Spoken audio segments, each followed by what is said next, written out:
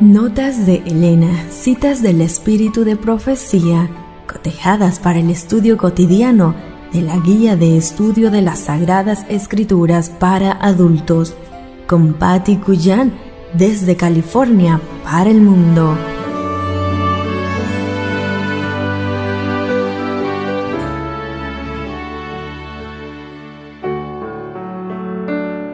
Hola, muy buenos días, qué gusto me da saludarte y saber que estamos juntos de nuevo.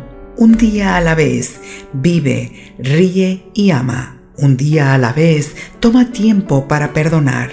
Un día a la vez, disfruta de la vida y sé feliz. Gracias por estar conmigo para juntos repasar Notas de Elena para las lecciones de la escuela sabática, el libro de Marcos miércoles 7 de agosto titulado Con la lengua trabada. En la región de Decápolis era donde los endemoniados de Gadara habían sido sanados.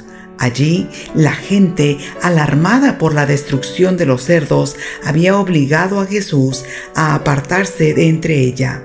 Pero había escuchado a los mensajeros que él dejara atrás y se había despertado el deseo de verle.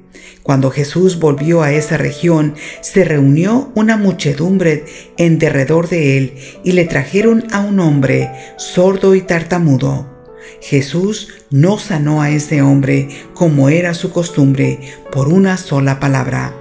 Apartándole de la muchedumbre, puso sus dedos en sus oídos y tocó su lengua, mirando al cielo, suspiró al pensar en los oídos que no querían abrirse a la verdad, en las lenguas que se negaban a reconocer al Redentor. A la orden, sea abierto, le fue devuelta al hombre la facultad de hablar y violando la recomendación de no contarlo a nadie, publicó por todas partes el relato de su curación.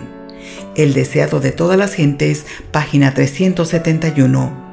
Los siervos de Cristo deben testificar por su fe con el poder del Espíritu Santo.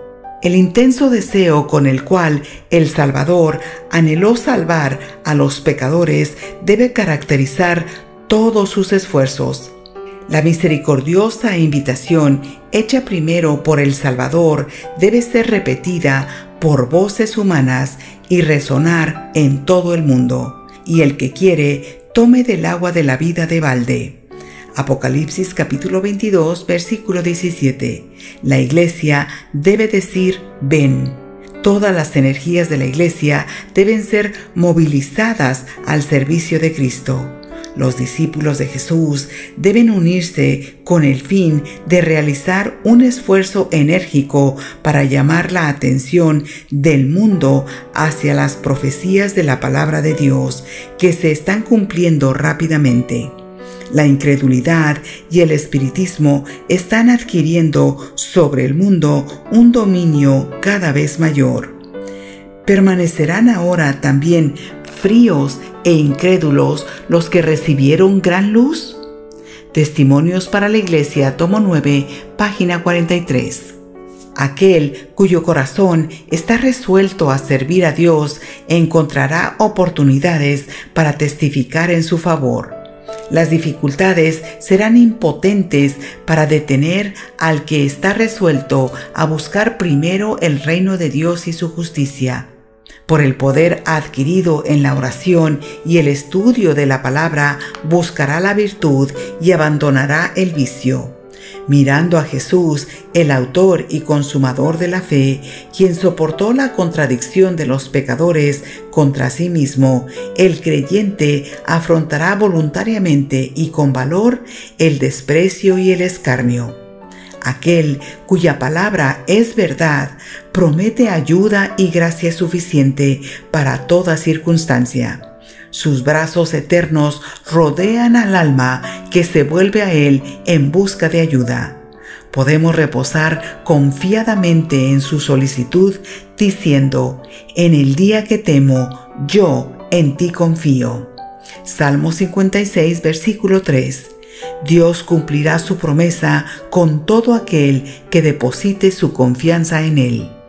Por su propio ejemplo, el Salvador ha demostrado que sus seguidores pueden estar en el mundo y con todo no ser del mundo.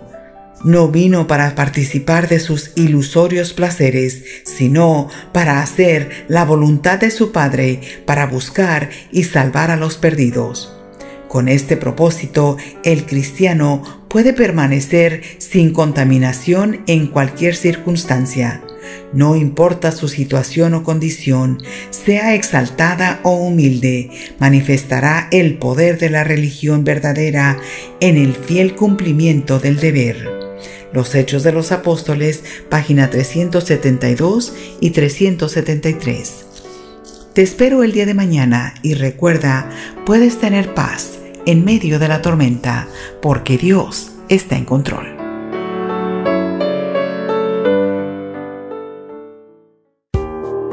Esta fue una presentación de Canaan Seven Day Adventist Church y DR Ministries. Escríbenos a d-ramos28 hotmail.com.